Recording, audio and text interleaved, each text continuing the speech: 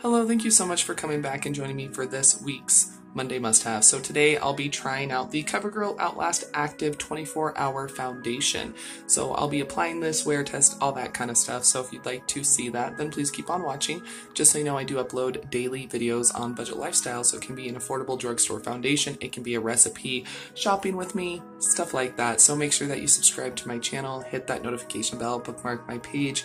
I also do live streams every Sunday night at 9:30 p.m. Eastern Standard Time. So yeah, I'd love for you to be able to come on back and watch watch whenever you would like to. So, CoverGirl is now cruelty free. You do get one fluid ounce, and I picked up the shade Classic Ivory. So this does have SPF 20 in it. It's supposed to give you full coverage and supposed to be water resistant and sweat resistant. It's just supposed to stay a really, really long time. So um, my skin is clean and moisturized. I'm not wearing primer but I want to show you guys up close. My skin's not looking super great. Um, I haven't been sleeping well. Just extremely, extremely stressed out. So my skin's showing it. It has a lot of discoloration, but okay, so I'm just going to go ahead. This is going to be too light for me. I will adjust with bronzer and everything, but let's see. Has a little bit of a fragrance, nothing bad.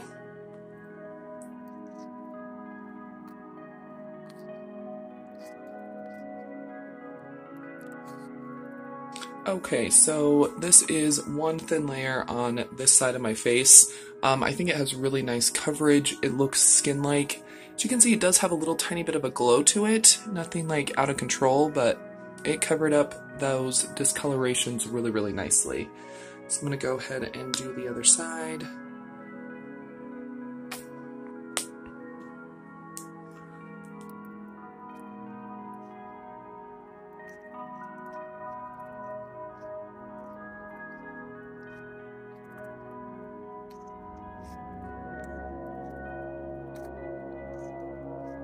Okay, so this is what it's looking like. Like I said, the color's a little bit off from my chest because I have been getting sunburned, but uh, um, I think it looks really, really nice. It's got good coverage. I'd say this is a very high medium, lightful.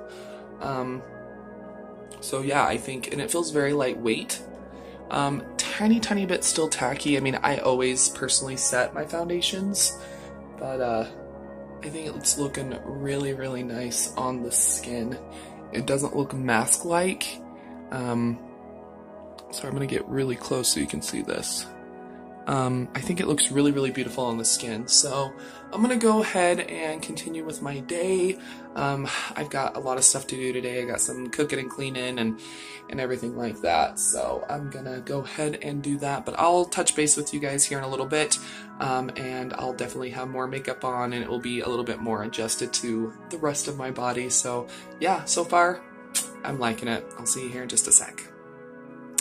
Hello, so it's been about seven hours and I've done a lot. I changed out the cat litter, um, I scrubbed out the cat box, I made cookies, um, cleaned up the house a little bit. Um, I'm about to go start making dinner here very shortly, but I wanted to show you what the foundation's looking like.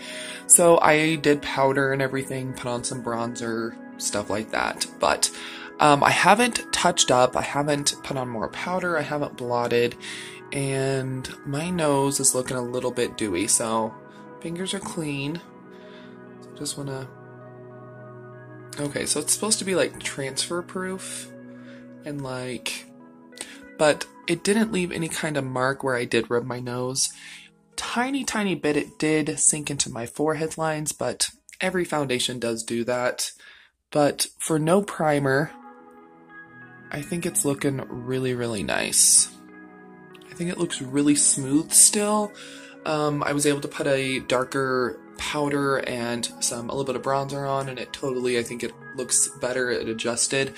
Um, but no, I think it looks really, really nice. It feels, it still feels very lightweight. It doesn't feel sticky, even though I'm a little bit shiny.